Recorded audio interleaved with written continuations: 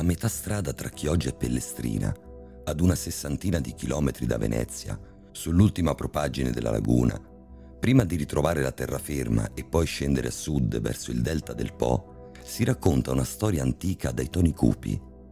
È la leggenda della Valle dei Sette Morti.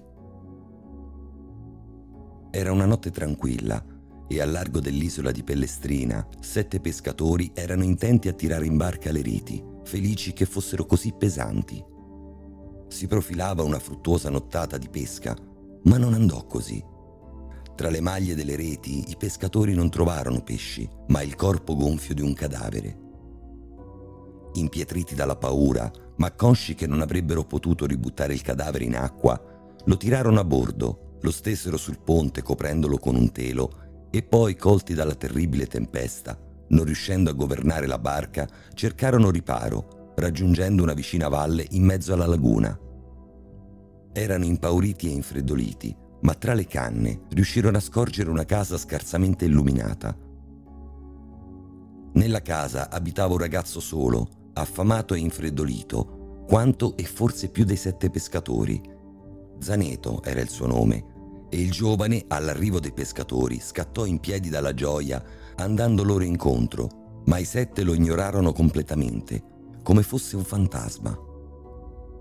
Entrati nell'edificio, i sette accesero il fuoco e cominciarono a prepararsi una polenta, mentre il povero Zaneto, rintanato in un angolo, assisteva alla scena senza poter intervenire. Quando la polenta fu pronta, gli uomini cominciarono a divorarla avidamente e lo stomaco del ragazzo iniziò a brontolare reclamando la sua parte, ma i pescatori non lo degnarono di uno sguardo. Alla fine Zanetto si fece coraggio, si alzò dal suo nascondiglio e andò a chiedere un boccone. I pescatori risposero, ridendo e scherzando, di andare a chiamare l'uomo che si trovava profondamente addormentato in barca e se fosse riuscito a tornare con lui, allora gli avrebbero offerto un pezzetto di polenta. Zaneto allora, insieme al suo cane, raggiunse di corsa l'imbarcazione.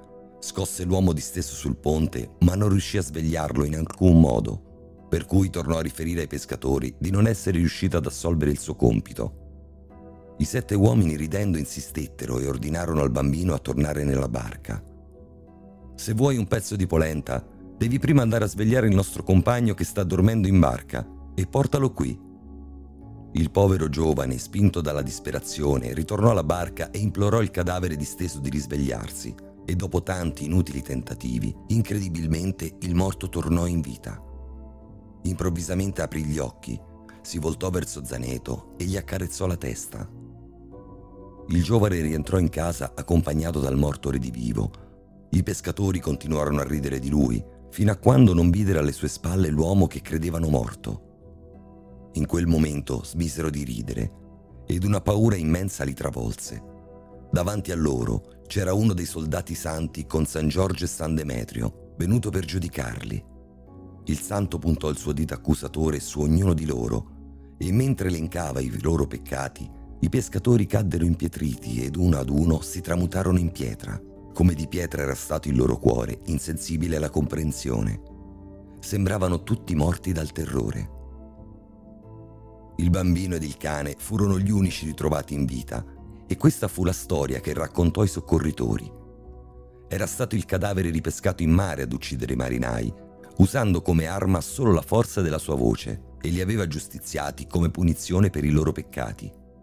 Solo lui ed il cane erano ancora in vita, perché erano gli unici due esseri senza peccato all'interno della casa.